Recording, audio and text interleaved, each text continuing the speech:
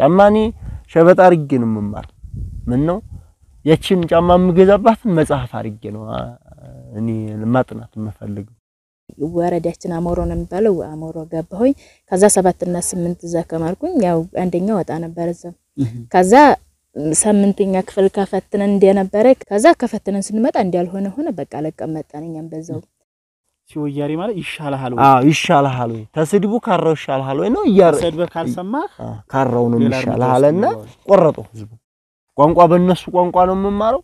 በእነሱ ቋንቋ እየመራው እየተማርኩ እኔ እመራቸዋለሁ እነሱ በልጅነት ጀምሮ በኦሮሞኛ ነው የተማርከው ከአንደኛ ጀምሮ እንደፊቱም ባይሆንም ያው አጠናለሁ መቼም ማለት ብታጠና ማንከ በጥሩ ሁኔታ ስትሆን ነው ትምህርትም ሊገባ ምናምን የሚችለው። ብይ ኬኛ ገዲሰባ ማለት ሀገራችንን ለቃችሁ ውጡ ማለት ነው። አማራን ወይም ኦሮሞን ለይቼ ሰዓት ገድሌ መጀመሪያ የመጣውን ኋላ አስቀድሜ ለማከም አይደለም። እኔ ማህበረሰቡን ማገልገል በሜዲሲን ተመርቄ ማህበረሰቡን እኩል ለማገልገል አላማ ስላለኝ ነው ዶክተር ያልኩ። ዩኒቨርሲቲ ውስጥ ስገባ ምንም የሚያስፈልጉ አሉ፣ ግን ያንን ማ- ማሟላት አለመቻሌ ምናምን ትንሽ እንትን ብሎ ነበር ሀሳብ ነበርኩኝ።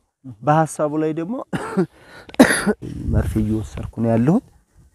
የኔ ያው እንግዲህ እንደምታውቀው ነገ ነው የምሄደው ብያለሁ። ግን የተዘጋጀሁበት ዝግጅት የለኝም። ኢንሻአላህ ባላህ ብቃኝ ነው ኢንሻአላህ እወዳለሁ። እንግዲህ ማንኛውም የሰው ልጅ ተስፋ መቁረጥ የለበት።